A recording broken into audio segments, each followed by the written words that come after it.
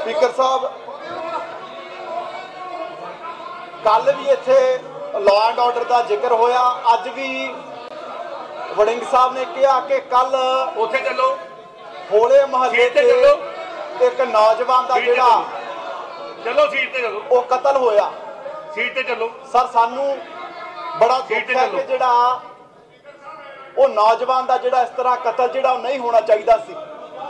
ਪਰ ਸਰ ਮੈਂ ਸਾਡੇ ਆਪੋਜੀਸ਼ਨ ਦੇ ਸਾਥੀਆਂ ਨੂੰ ਇਹ ਪੁੱਛਣਾ ਚਾਹਣਾ ਕਿ ਆਮ ਆਦਮੀ ਪਾਰਟੀ ਦੀ ਸਰਕਾਰ ਆਉਣ ਤੋਂ ਪਹਿਲਾਂ ਕੀ ਇੱਥੇ ਸਾਜ਼ੁਕ ਸੀ? ਕੋਈ ਕਿਸ ਨਾਲ ਨਹੀਂ ਸੀ ਲੜਦਾ? ਕਿ ਕੋਈ ਪੰਜਾਬ 'ਚ ਕਤਲ ਨਹੀਂ ਸੀ ਹੁੰਦੇ? ਸਰ, ਆਹ ਪਿਛਲੇ 12 ਸਾਲ ਦਾ ਮੇਰੇ ਕੋਲੇ ਰਿਕਾਰਡ ਹੈ ਪੰਜਾਬ ਦਾ, ਜਿਹੜਾ ਪੁਲਿਸ ਦਾ ਅਫੀਸ਼ੀਅਲ ਰਿਕਾਰਡ ਹੈ, ਕੋਈ ਸਾਡਾ ਨਹੀਂ। ਇਹਦੇ 'ਚ ਸਰ 2010 'ਚ ਪੰਜਾਬ 'ਚ 907 ਕਤਲ ਹੁੰਦੇ ਆ।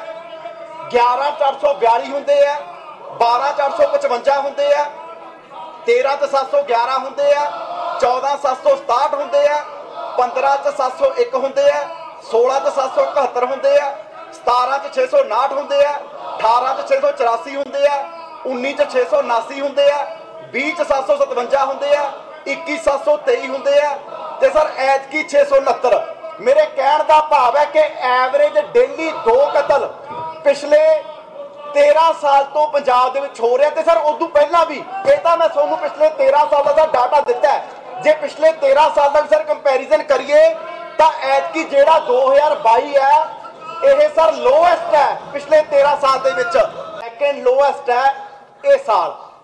ਕਿਉਂਕਿ ਮਹੀਨੇ ਦੇ ਐਵਰੇਜ 55 60 ਕਤਲ ਪਿਛਲੇ 12 13 ਸਾਲ ਦਾ ਸਰ ਮੈਂ ਰਿਕਾਰਡ ਤੁਹਾਡੇ ਸਾਹਮਣੇ ਜਿਹੜਾ ਪੇਸ਼ ਕੀਤਾ ਪਰ ਰੋਜ਼ ਬਦਨਾਮ ਜਿਹੜਾ ਇੱਥੇ ਆਮ ਆਦਮੀ ਪਾਰਟੀ ਦੀ ਸਰਕਾਰ ਨੂੰ ਕੀਤਾ ਜਾ ਰਿਹਾ ਜੀ, ਤੁਹਾਡੀ ਸਰਕਾਰ 'ਚ ਹੋ ਰਿਹਾ।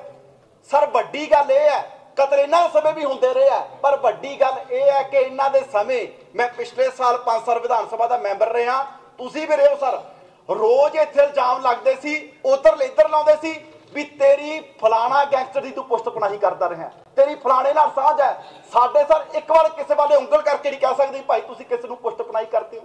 ਕਿੱਦਾਂ ਸਾਥ ਦਿੰਦੇ ਹੋ? ਸਰ, ਵੱਡੀ ਗੱਲ ਇਹ ਹੈ ਕਿ ਅੱਜ ਦੇ ਸਮੇਂ ਕੋਈ ਪੰਜਾਬ 'ਚ ਕ੍ਰਾਈਮ ਕਰਨ ਦੀ ਕੋਸ਼ਿਸ਼ ਕਰਦਾ, ਕੋਈ ਪੰਜਾਬ 'ਚ ਕਾਨੂੰਨ ਨੂੰ ਹੱਥ ਲੈਣ ਦੀ ਕੋਸ਼ਿਸ਼ ਕਰਦਾ, ਉਹਦੀ ਪੁਸ਼ਤ ਪਨਾਈ ਨਹੀਂ ਹੁੰਦੀ, ਉਹਦੇ ਤੇ ਜਿਹੜੀ ਕਾਰਵਾਈ ਹੈ, ਉਹ ਕੀਤੀ ਜਾਂਦੀ ਹੈ। ਬਾਕੀ ਸਰ ਕ੍ਰਾਈਮ ਇੱਥੇ ਸਦੀਆਂ ਤੋਂ ਹੁੰਦਾ ਰਿਹਾ ਹੈ। ਇਹ ਸੁਸਾਇਟੀ ਦਾ ਇੱਕ ਅੰਗ ਹੈ, ਇਹ ਹੁੰਦਾ ਆਇਆ, ਅੱਜ ਵੀ ਹੋ ਰਿਹਾ ਤੇ ਆਉਣ ਵਾਲੇ ਸਮੇਂ 'ਚ ਵੀ ਹੁੰਦਾ ਰਹੂਗਾ।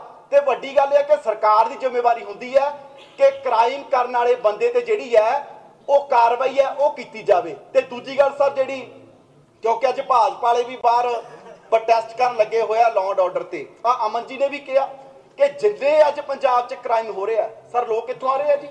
ਜਿੱਥੇ ਇਹਨਾਂ ਦੀਆਂ ਸਰਕਾਰਾਂ ਨੇ ਉਹ ਨਰਸਰੀ ਬਣੇ ਹੋਏ ਆ। ਜਿੰਨੇ ਗੈਂਗਸਟਰ ਅੱਜ ਯੂਪੀ 'ਚ ਕ੍ਰਾਈਮ ਹੁੰਦਾ ਜੇ ਰਾਜਸਥਾਨ 'ਚ ਕ੍ਰਾਈਮ ਹੁੰਦਾ, ਸਾਰੇ ਸ਼ੂਟਰ ਦਾ ਹਰਿਆਣੇ ਤੋਂ ਜਾਂਦੇ ਆ।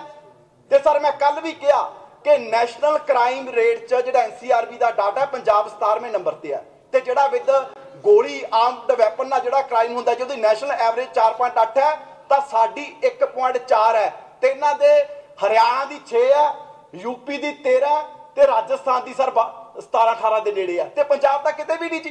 ਤੇ ਰੋਜ਼ ਜਿਹੜਾ ਬਦਨਾਮ ਹੈ, ਉਹ ਪੰਜਾਬ ਨੂੰ ਕੀਤਾ ਜਾ ਰਿਹਾ ਹੈ। ਤੇ ਸਰ, ਕਿਉਂਕਿ ਖਾਂਦੇ ਪੰਜਾਬ ਦਾ ਨੇ ਜੰਮੇ ਪੰਜਾਬ 'ਚ ਨੇ ਇਹਨਾਂ ਨੂੰ ਪੰਜਾਬੀ ਦੁਨੀਆ 'ਚ ਕਿਤੇ ਵੀ ਬੈਠੇ ਆ, ਜੋ ਪੰਜਾਬ ਨੂੰ ਇਹ ਬਦਨਾਮ ਕਰ ਰਿਹਾ, ਪੰਜਾਬ ਦੀ ਜਵਾਨੀ ਨੂੰ, ਪੰਜਾਬ ਦੇ ਨੌਜਵਾਨਾਂ ਨੂੰ, ਇੱਕ ਦੋ ਇਨਸੀਡੈਂਟਾਂ ਕਰਕੇ ਸਰ ਇਹਨਾਂ ਨੂੰ ਪੰਜਾਬੀ ਮਾਫ ਨਹੀਂ ਕਰਨਗੇ। ਕਿਉਂਕਿ ਅੱਜ ਦੁਨੀਆ ਦੇਖ ਰਹੀ ਹੈ ਕਿ ਕਿਸ ਤਰ੍ਹਾਂ ਰੋਜ਼ ਇਹ ਪੰਜਾਬੀ ਹੋ ਕੇ ਪੰਜਾਬ ਨੂੰ ਭੰਡਣ ਲੱਗੇ ਹੋਇਆ ਤੁਹਾਨੂੰ ਪਹਿਲੇ 16 ਸੂਬੇ ਨਹੀਂ ਦਿਖਦੇ, ਕੱਲਾ ਪੰਜਾਬ ਪੰਜਾਬ ਪੰਜਾਬ। ਇਹਨਾਂ ਦੇ ਸਮੇਂ ਕੀ ਸੀ?